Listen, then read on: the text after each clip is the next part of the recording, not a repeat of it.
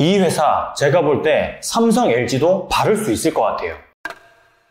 안녕하세요. 장사건 프로입니다. 지난 6월에 한 크라우드 펀딩 사이트에 어느 한 중소기업이 크라우드 펀딩을 모집하는 글을 올렸습니다. 크라우드 펀딩이라고 하는 건 내 아이디어를 사람들에게 소개하고 투자를 받는 그런 거라고 생각을 하시면 돼요. reward, 즉 프로젝트 펀딩을 통해서 그 투자자분들에게 좀 더 좋은 혜택으로 제품이나 서비스를 공급하는 그런 걸 말하는 거죠. 이 중소기업은 9월 28일부터 10월 31일까지 약 한 달간 500만 원을 목표로 크라우드 펀딩 글을 올렸는데 참 재미있는 일이 일어났어요. 바로 500만 원이 아니라 2억이라는 금액이 펀딩이 된 겁니다. 무려 500명이 넘는 투자자들이 이 크라우드 펀딩에 참여를 했다는 거죠. 더 재미있는 건 이 펀딩 글이 올라오고 나서 채 5분이 지나지 않아서 1억이 넘는 금액을 돌파를 했습니다.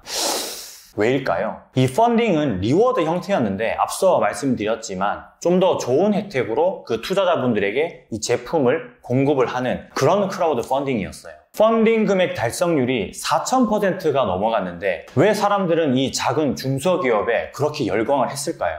바로 가성비와 가심비 이 두 개 다를 모두 잡았기 때문이었습니다. 이때 진행한 reward 제품이 바로 노트북이었는데요. 저렴한 가격에 뛰어난 성능, 거기다가 스토리가 들어있는 제작 및 공급, 앞으로의 발전 방향 등 이 회사가 가진 철학을 모두 다 거기에 녹아냈었기 때문에 사람들이 반할 수밖에 없었던 거죠. 이 회사는 바로 이그닉이라는 2013년부터 해외 제품들을 국내에 많이 소개했던 바이블 팀의 멤버들로 구성이 된 회사인데요. 가성비와 가심비 이 두 가지를 모두 다 잡고 싶다는 게 이 회사의 공통적인 개발 의지라고 해요. 그리고 이그닉에서도 저에게 요청을 했는데 바로 자영업을 하고 계시는 분들 그리고 앞으로 자영업을 하실 분들에게 제품을 꼭 좀 소개를 해달라고 했어요. 직접 제품을 보내주기까지 했고요. 조금 특별했던 건 제가 tech 유튜버도 아니고 이런 형태의 협찬들은 제가 거의 다 대부분 사양을 했었는데 이번만큼은 제가 거절을 못했습니다. 치킨, 사주 어플, 화장품 또 심지어는 극장 관련해서 협찬 문의도 들어왔었어요. 그런데 그게 과연 자영업자분들한테 무슨 도움이 될까 하는 그런 생각에 제가 소개를 할 수가 없었죠. 이근익에서 저에게 요청을 한 건 바로 이놈이라서 제가 이렇게 촬영을 하고 있는 거예요.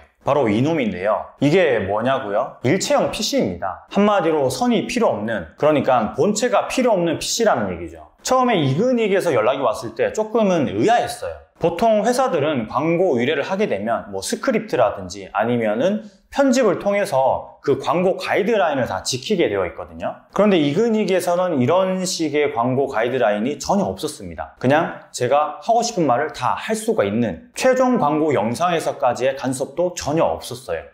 저도 그런 부분에 있어서는 굉장히 민감하기 때문에 거절하는 경우도 종종 있었고요. 이그닉에서는 그냥 딱 한마디만 했습니다. 그 광고 담당자분이요. 자영업자분들이 사용하시면 좋을 것 같아요. 라고 말이죠. 그리고 제가 직접 사용을 해봤는데 왜 사람들이 이그닉이라는 회사에 반했는지 그때서야 알게 됐습니다. 사실 저는 tech 유튜버도 아니고 일체형 PC가 이런 부분은 좋고 뭐 이런 부분은 나쁘고 사양이 어떻고 저떻고 이래서 별로이고 이래서 좋고 그런 리뷰를 하고 싶진 않아요 사실. 그건 많은 tech 유튜버 분들이 이미 많이 하셨고 이그닉 홈페이지만 들어가도 이 일체형 PC에 대한 사양이 굉장히 많이 나와 있습니다. 그냥 제가 한 2주일 정도 사용해보고 느낀 건 이건 정말 식당이나 술집, 옷가게, 뭐 기타 road 매장에서 사용하기에는 굉장히 획기적이구나 라고 하는 거였어요 일단 공간 활용 및 편의성에서는 만점을 주고 싶어요. 선이 필요 없으니까요. 본체가 여기에 다 들어 있습니다. 마우스든 키보드든 다 블루투스로 입력이 가능하고요. 기존에 가지고 있던 마우스나 키보드로도 손으로도 다 연결이 가능합니다. 그리고 제가 제일 귀찮은 게 윈도우 설치거든요. 그런데 일단 포함이 다 되어 있어요. 배송을 받자마자 키기만 하면 윈도우가 뜹니다. 그러면 노트북을 사면 해결되지 않냐라고 하시는 분들도 있는데 노트북하고는 화면 사이즈가 일단 차이가 좀 심하게 나요.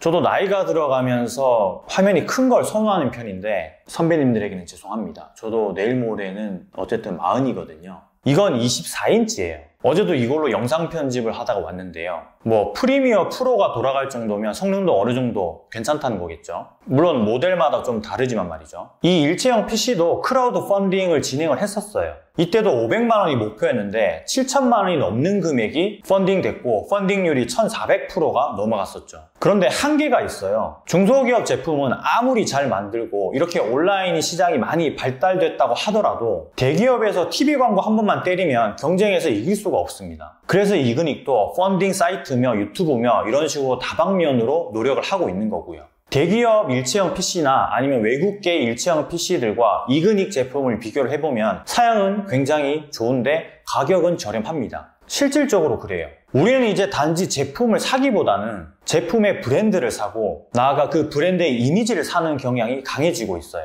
왜냐하면 가성비와 가심비 그리고 나에게 정말 이득이 되는 구매일까? 내가 손해보는 구매는 아닐까? 하는 그런 것들을 따지기 때문이죠. 이렇게 두 마리 토끼를 다 잡는 게 요즘 기업들의 목표이고 핵심이에요. 우리 같은 자영업자들 역시 운명이죠. 만만히 있다고 되는 것도 아니고 친절하다고만 해서 성공할 수 있는 건 아니니까요. 대기업 제품도 물론 좋죠. 믿을 수 있고 이미 검증된 제품들이 많으니까요. 그런데 숨어있는 맛집, 그 동네 사람 아니면 절대 알 수 없는 그런 식당들. 가격은 저렴한데 맛도 있고 양도 많고 주인도 친절해요.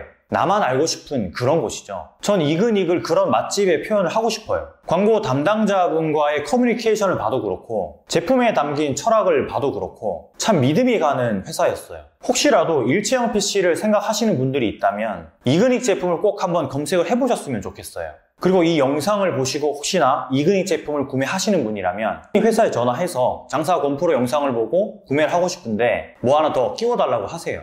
혹시 알아요? 나만 알고 있는 맛집에서 푸근하게 생기신 사장님이 뭐 간무친 겉절이라며 맛보라고 이렇게 줄지 아무도 모르는 일이니까요.